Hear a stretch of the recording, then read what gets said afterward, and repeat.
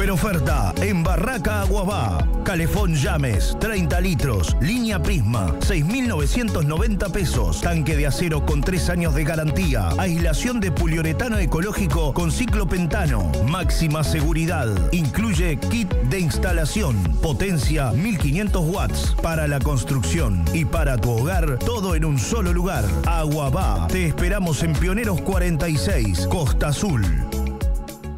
Una nueva mañana en Solar y Radio. Columna de actualidad, Celso Cuadro.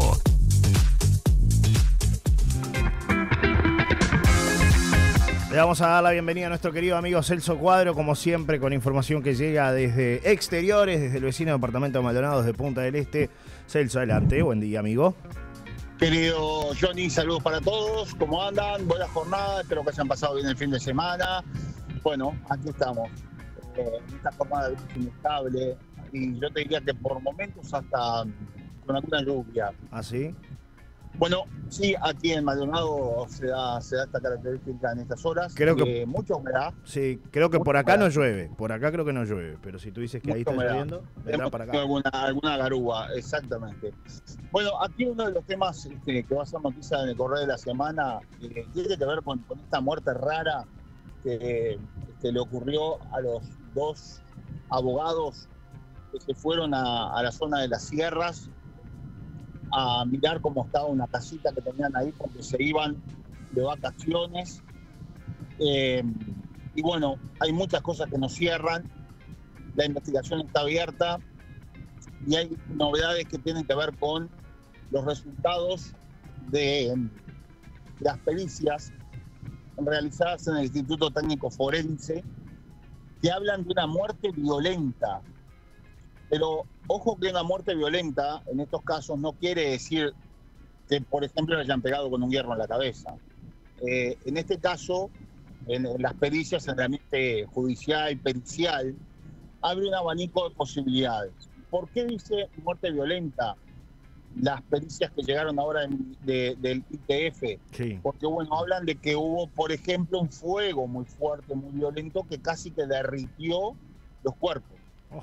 Los cuerpos que se analizaron eran un montón de huesos, eran bolsas con huesos. Eso es lo que sucedió. Allí se estima que existieron más de 800 grados de temperatura. Ahora, ¿qué, qué fue lo que sucedió? ¿Qué fue lo que utilizaron? Si es que utilizaron, porque se habla por parte de bomberos que hubo un acelerante. Pero ¿qué tipo de acelerante tiene que haber ocurrido, haber utilizado? Puntualmente nafta, se nos ocurre a todos, ¿no? Sí. Pero tienen que haber tirado un bidón con 10 litros de nafta para que haya una explosión de esas características y después un fuego tan violento. Esas son las cosas que no le cierran a la justicia, está todo muy raro. Las pericias de bomberos ya, ya se, se hicieron se habla de una posibilidad accidental, dicen los bomberos, sí. pero eh, hay cuestiones que no están muy claras. El miércoles va a haber una manifestación acá en Maldonado frente a la, a la, a la fiscalía y la van a hacer los abogados, abogados amigos de la familia. Es decir, como si mañana nos pasara algo a cualquiera de nosotros y fueran periodistas, a manifestarse. Porque era una, una familia muy, era una pareja muy conocida, porque no, era, no tenían hijos, pero muy conocida y que además no trabajaban en casos, eh, por ejemplo, este, a nivel penal, sino que era laboral y de familia. O sea que por allí no podría ocurrir nada extraño, más, vinculado quizás al trabajo de ellos. Hablamos de, materia penal cuando hablamos, por ejemplo, de, abogados que, que tienen que a ver, son contratados para defender delincuentes o narcotraficantes. O alguna situación de acusan a, o algún cliente de ellos acusa a un delincuente, puede haber represalias. Claro. Pero bueno, acá en este caso no debería ocurrir esto. Tenían entradas para el cine a las 6 de la tarde y el lugar queda lejos, con lo cual es muy raro todo lo que pasó a eso de las 3 de la tarde.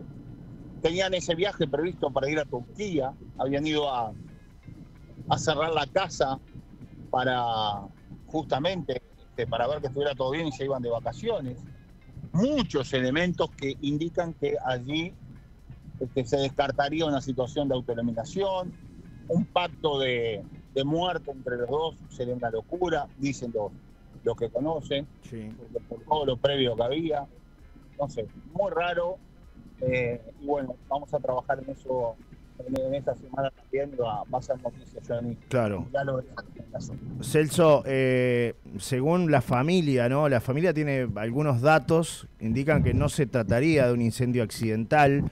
Por ejemplo, que el 15 de junio, ese día que se desató ese incendio dentro de la vivienda que culmina con la muerte de estas queridas personas, hubo 20 grados centígrados. La pareja había ido a la casa a limpiar y sacaron varias pertenencias para afuera, por lo que no tendría sentido prender la estufa si estaba la vivienda abierta, ¿no? Esto es, es lo que comentan desde la familia. Tanto el día que se dieron las muertes, Cabrera y Nieto, eh, lo que tú comentabas, tenían las entradas para ir al cine eh, a las 18 horas y habían llegado a Garzón a las 13 horas.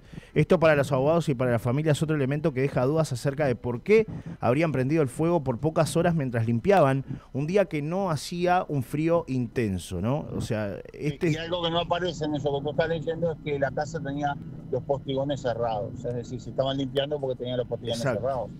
Eh, eh, está todo muy raro, muy Sí, extraño. sí, Yo voy sí. cerrando mi Bien, trabajo por acá.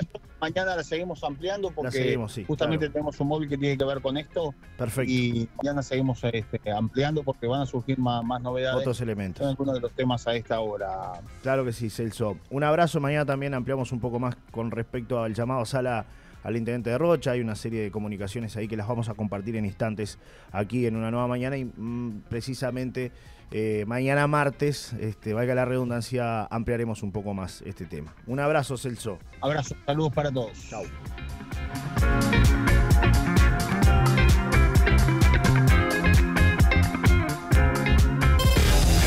Presentó Aguabá. Chapas Beckham en Aguabá. Ahora puedes comprar hasta en 10 cuotas, hasta en 10 cuotas por Mercado Pago, al precio de contado, con tarjetas OCA, Visa, Mastercard y Creditel. Aguabá, en calle Pioneros, Costa Azul. América La Paloma te brinda la mejor propuesta